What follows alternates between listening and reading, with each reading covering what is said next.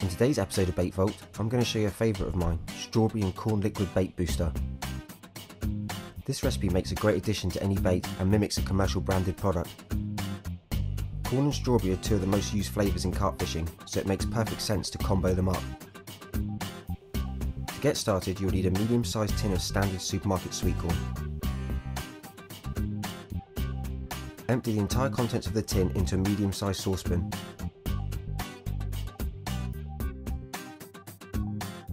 This is then followed by adding 1 cup of water.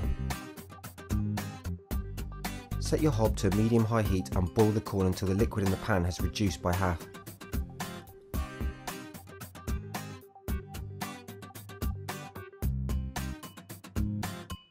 You should be left with a concentrated corn liquid. To separate the liquid from the corn, pass it through a sieve and discard the corn.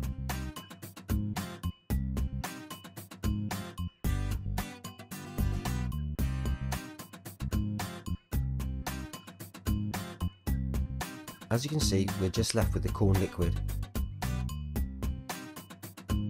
Leave your corn liquid to one side and give your saucepan a quick rinse out. Now add 2 cups of water.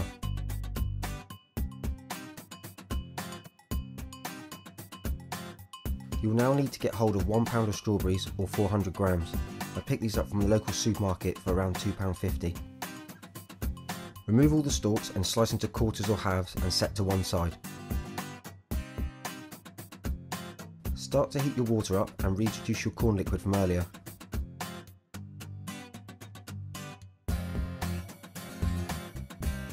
Take your sliced strawberries and add them directly to the pan.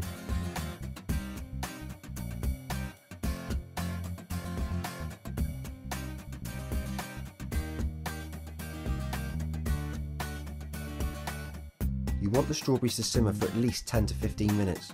The strawberries will start to lose their colour and become soft as the natural juices leak out.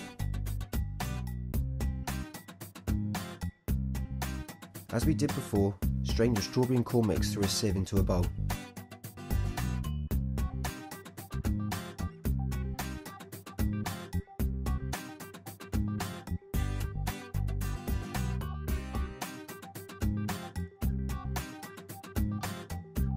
Now go ahead and pour this liquid back into your saucepan.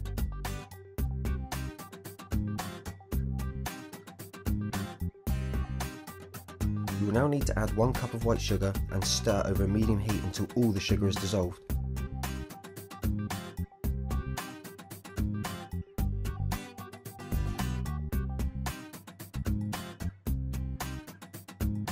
Allow to boil for 5 minutes and then turn the heat down. While this is happening, you need 2 heaped teaspoons of corn flour mixed with a small amount of water to remove any lumps.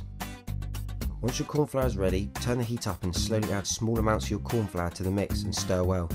You should start to see the liquid become slightly thick and take on a syrup-like consistency. Please remember that the syrup will continue to thicken when it cools, so don't overdo it. Once happy, remove from the heat and transfer it back into your bowl for cooling. As it cools it will start to look like a syrup. A good test to see the thickness is to use the back of a metal spoon and watch how the liquid runs off. If you want to make it thicker, simply place it back on the heat and cook for another 5 minutes or so. To thin it, you do exactly the same but add more water when reheating. It's now time to bottle it up. I'm repurposing a sauce bottle which makes ideal storage and use for the attractant.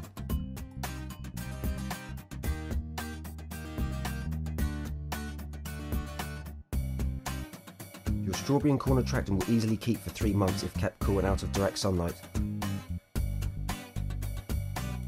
Remember the corn that we boiled earlier? Why not revitalise it in a ground bait and add some of your attractant?